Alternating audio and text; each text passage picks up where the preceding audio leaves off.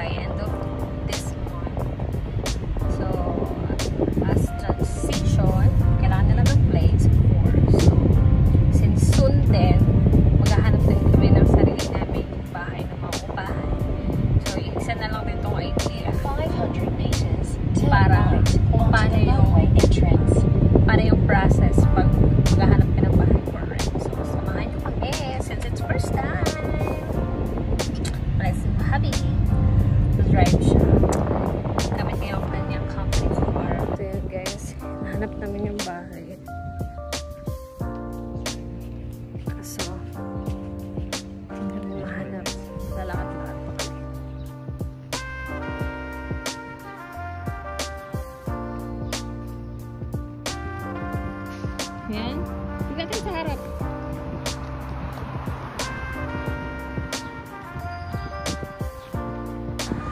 Lapit na sa bahay.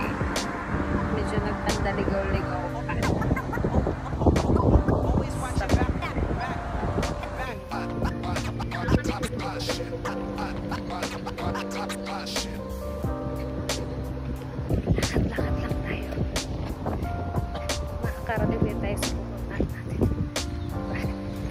Nga ako, no? So, ito yung hinahanap namin room. Yan. Dito. Uh, For viewing. Can I have your name, please? Um, Nerissa Joey.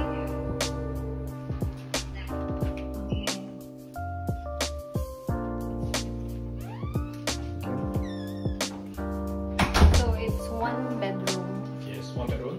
Only the sofa and the beds are belong to this apartment.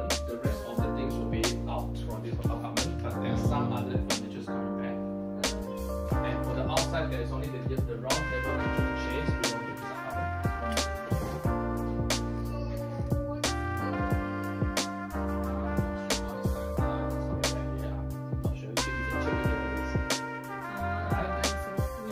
But there will so, pauwi na kami. Tapos na namin uh, yung place. Niya actually. Uh, maliit lang siya, fully furnished. Tapos, nasa second floor. Sa talaga siyang apartment na building. Tapos, may mga amenities siya. Tapos, paglabas mo, malapit ka na sa park. Ano siya eh, city. In So yun. 500 meters, turn right at the end of the road onto pala, Westminster Street. sa New Zealand, kakaiba dito pag gusto mong mag-rent ng place unlike sa iba ibang lugar like sa Philippines, sa Dubai based from the experience na na-experience lang namin. So dito, may mga standards silang fina-follow. Like pag gusto mong i-rent yung place, at tawag ito, marami kang fill outan. Tapos may mga i-attach kang mga IDs tapos nagba-background check sila financially. Tapos kung may mga narentahan ka ng left bahay dito sa. New Zealand, i-check din nila kung kayo as, kung ano kayo as tenant. So, ganoon sila. Tapos, hindi sila dito yung katulad sa ibang lugar na pag gusto mong rentahan yung bahay. After mo i-view, eh, pwede mo na siyang iba, bayaran or kung. Sila yung nagde-decide kung sino sa mga nag-apply online yung interested sa place. Sila yung namimili kung sino yung gusto nilang umupa dun sa place. So, di ba? Kakaiba. So, advice ko lang, roundabout, take the second ang exit. ingay ng navigation, sorry. So, advice ko lang dun sa mga gustong magstay dito.